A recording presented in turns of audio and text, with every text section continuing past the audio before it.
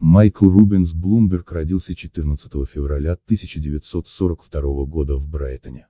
В те времена это был отдельный город, сейчас его территория входит в состав Бостона, штат Массачусетс. Родители политика, евреи по национальности, их предки родом из Польши и Литвы. В 1960 году Майкл окончил Medford High School и поступил в частный исследовательский университет Джона Хопкинса.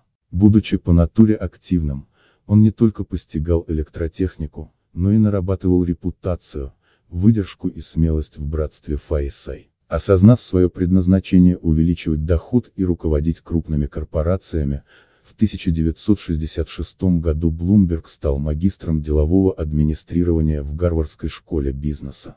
До 2002 его биография была связана исключительно с предпринимательством. В 1975 году женой Майкла Блумберга стала Сьюзан Элизабет Барбара Браун, гражданка Великобритании. В браке родились две дочери, Эмма, 1979 год Р и Джорджина, 1983 год Р.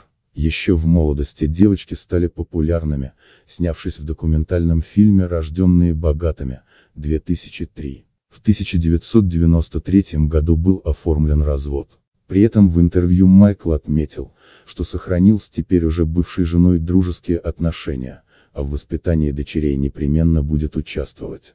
В 2000 году в личной жизни политика появилась Диана Тейлор, экс-суперинтендант банков штата Нью-Йорк. Сейчас они просто живут вместе, но и в дальнейшем не намерены официально регистрировать отношения.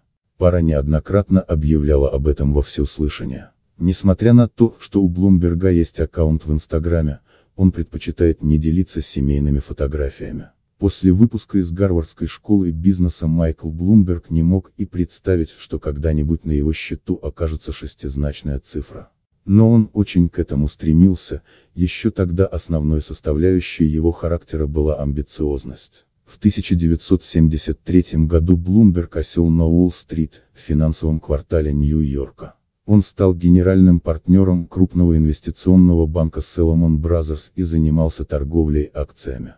В 1981 компанию выкупили, а штат распустили. Политик остался без работы, но с 10 миллионов долларов на руках, во столько оценивалась его доля в Salomon Brothers. На это состояние Майкл основал Innovative Market Systems, IMS. Компания занималась разработкой программного обеспечения, которое в режиме реального времени поставляло фирмам Уолл-стрит рыночные данные, финансовые расчеты и другую аналитику. Первый клиент, банк Merrill Lynch, вложил в IMS 30 миллионов долларов. С этого и началась головокружительная история успеха. В 1986 году ИМС была переименована в Bloomberg, а ассортимент оказываемых компанией услуг расширился. Появились Bloomberg News, Bloomberg Radio, Bloomberg Message и Bloomberg Tradebook.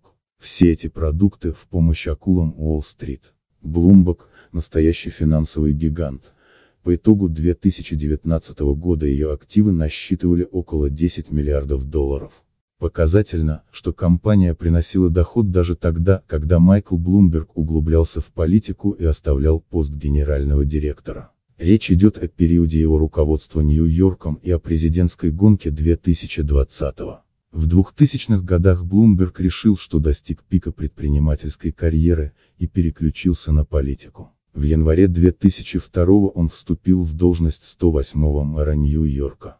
Интересный факт, его зарплата составляла 1 доллар в год. Сначала рейтинг одобрения Майкла составлял всего 24%, но за годы руководства городом Большого Яблока он сумел доказать свою состоятельность. Достаточно упомянуть лишь некоторые его инициативы. Блумберг умел обращаться с деньгами, и благодаря этому дефицит бюджета в 6 миллиардов долларов превратился в профицит в 3 миллиарда долларов, преимущественно за счет повышения налога на недвижимость. Это благополучно отразилось на социальной сфере. В городе появилось около 160 тысяч доступных домов. Будучи поборником здорового образа жизни, Блумберг наложил табу на курение на рабочих местах и в общественных заведениях, в том числе в барах и ресторанах. Он также законодательно запретил общепиту использовать трансжиры в своей продукции и потребовал указывать количество калорий в меню. Позже эти инициативы были реализованы во всех штатах Америки. В парках и скверах появились велодорожки. Остался след Майкла и в межнациональном вопросе. Так, он запустил программу News Young Men S Initiative, направленную на устранение недомолвок между темнокожими и латиноамериканцами. Политик лично пожертвовал проекту 30 миллионов долларов. А после терактов 11 сентября 2001 года администрация Блумберга при содействии ЦРУ курировала противоречивую программу наблюдения за мусульманскими общинами. Стоит отметить, что во времена первого избрания Майкла Блумберга занимать пост мэра Нью-Йорка можно было два раза по четыре года. Когда этот период истекал, бизнесмен обратился к жителям с просьбой разрешить ему расширить срок полномочий. Даже Рональд Лаудер, который в 1993 году и ввел восьмилетнее ограничение, поддержал его предложение. В итоге в 2013 году, по истечении третьего срока полномочий, Блумберг покинул пост мэра Нью-Йорка. Ему прочили место губернатора штата и говорили, что однажды он станет кандидатом в президенты. Предрекаемое случилось в ноябре 2019 года, миллионер решил составить конкуренцию Дональду Трампу. Несмотря на мощный финансовый фон и советы лучших пирщиков, кандидатура Блумберга не понравилась гражданам США, невыгодна она была и в международном смысле.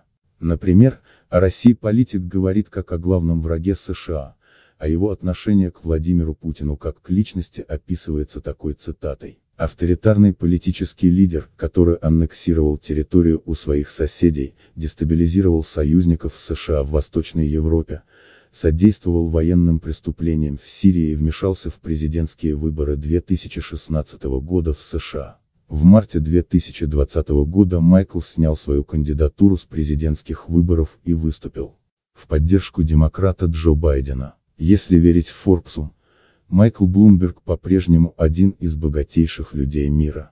В рейтинге 2020 года он занимает 16 место, а его состояние оценивается в 48 миллиардов долларов. После снятия кандидатуры с президентских выборов 2020 года экс-мэр Нью-Йорка вернулся к управлению Bloomberg и продолжает заниматься благотворительностью. Несмотря на возраст и не столь крепкое здоровье, Блумберг и дальше намерен бороться за США. Я собираюсь убрать президента Трампа из Белого дома или, по крайней мере, постараться изо всех сил. Однажды. Отметил он в интервью.